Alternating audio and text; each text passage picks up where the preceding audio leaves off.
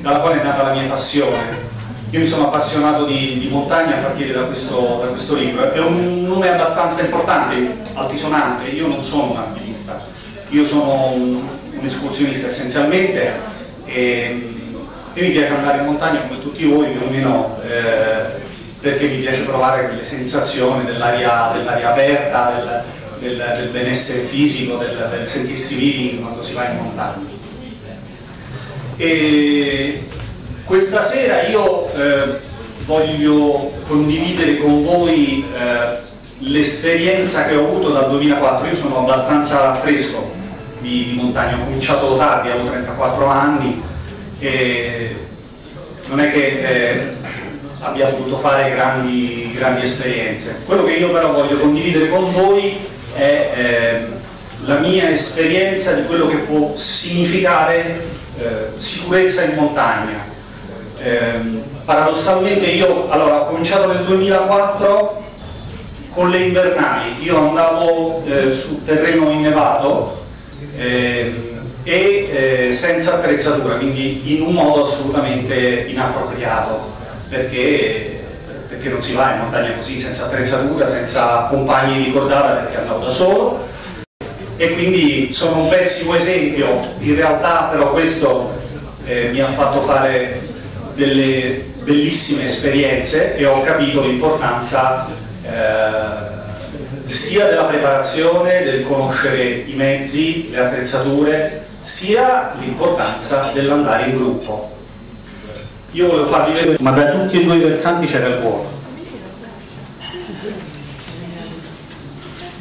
Ecco qua, stava più o meno su questi ghiaioni qui lui era solo, non c'era più nessuno, neanche dall'altra parte. I due compagni che erano passati prima erano, erano continuati ad andare avanti.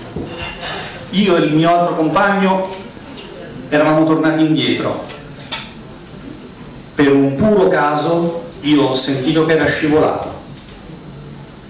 L'ho potuto salvare, gli stavano cedendo le gambe, gli ho allungato un bastoncino e l'ho tirato su abbiamo sbagliato, abbiamo sbagliato tutti. Primo, non ci dovevamo separare, non esiste. Io continuo a farmi oggi i sensi di colpa, potevamo perdere un amico.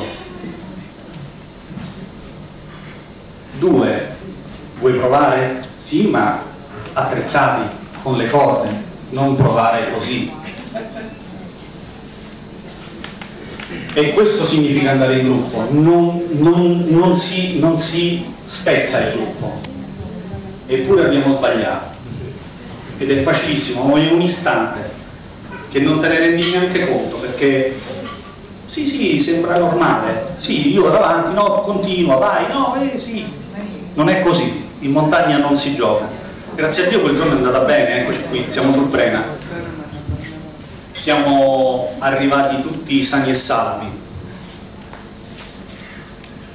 Poteva essere una pessima giornata. Io spero di non annoiarvi, insomma, eh, sono mie esperienze che però vogliono portare a, vogliono essere d'aiuto per fare le scelte giuste. Non mai sottovalutare la montagna questa è un'uscita in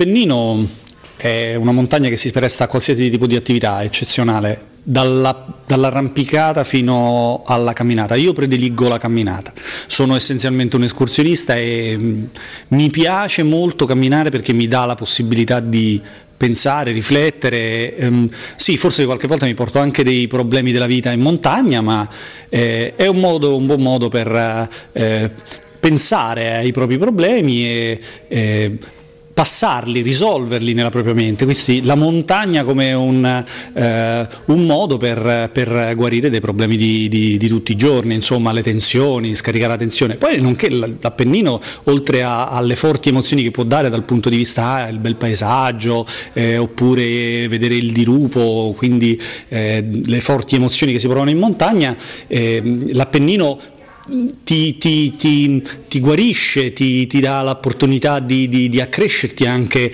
eh, culturalmente, è un'occasione per, per, per, sviluppare la, la salute, no? cammini e quindi stai bene. Quindi la montagna e l'Appennino sono eh, veramente pieni di, di grandi occasioni. Io fin dall'inizio ho tentato di divulgare, e questo attraverso il sito Aria Sottile, eh, questa, mia, questa mia passione, questa passione che io ho per la montagna trovo che eh, porti grandi, grandi benefici dal punto di vista della salute, della cultura, della conoscenza del proprio territorio. L'ultimo passo che io ho fatto è stata la pubblicazione del libro. Io ho presentato e ho portato questo libro, questo nuovo libro con manuale di consigli, di vissuto. Cioè io ho imparato a frequentare la montagna e lo sto divulgando. Eh, questo manuale pratico diciamo che parla del, del, di ciò che si può fare in Appennino eh, sapendo, conoscendo eh, il proprio corpo, la tecnica e il territorio. Perfetto. Chissà. Senti, no, sul